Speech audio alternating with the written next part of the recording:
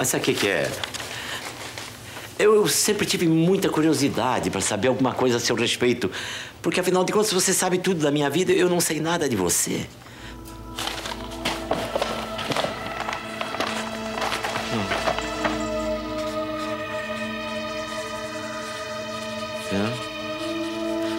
Não, eu sei.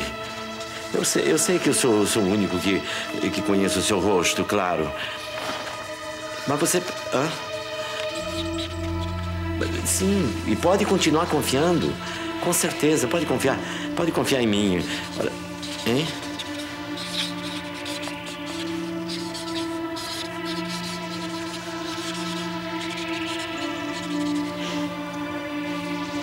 Está certo. Você tem todo o direito. Tá certo, eu. Eu prometo a você que eu. que eu não vou trair você nunca, viu? Me desculpe. Sonho com você numa canção. Trai minha emoção. Uma canção que fala de viver e conta histórias de você. Faz recordar. Vem cá, o que, que você tá fazendo aí? Nada. Só tava te olhando. Pai, você vai casar com a Diná? O que, que você conseguiu? Olha, se você tá apaixonado, vai em frente. Quer dizer que você não tem mais bronca dela? Que nada. Até que ela é legal.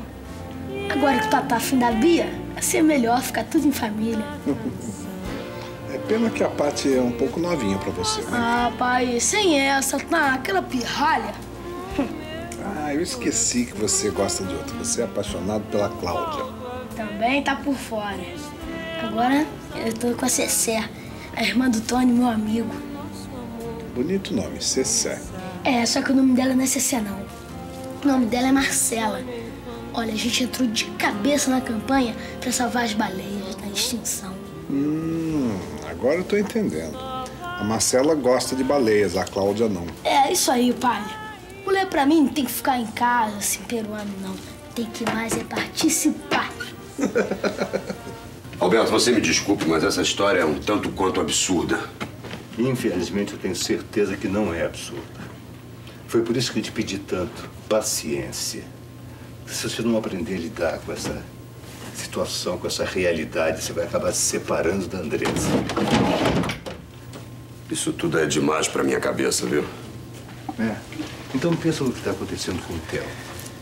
Lapsos de memória, tá perdendo a clientela dele, foi praticamente expulso da casa da namorada, a menina quase teve um colapso nervoso. Isso é normal? Isso, isso é normal? A situação dele tá preta demais. Todo mundo tem problemas. É uma fase que ele tá passando. Pronto. É mais que isso. É mais. Ouve isso. O Tato, filho do Otávio Jordão, você conhece o Tato? Eu já vi no clube algumas vezes. Pois muito bem. Uns dias atrás, o Tato comprou uma moto. Comprou uma moto. A moto que pertenceu ao Alexandre, seu irmão. Que? É. Eu, eu- eu só percebi isso por acaso. Agora, ouve o que eu tenho para contar. Ontem à noite ele chegou. Ontem à noite ele chegou na casa dele. Estacionou a moto, parou a moto, viu que o Otávio estava despedindo da Diná, foi lá, falou com os dois, a Diná foi embora.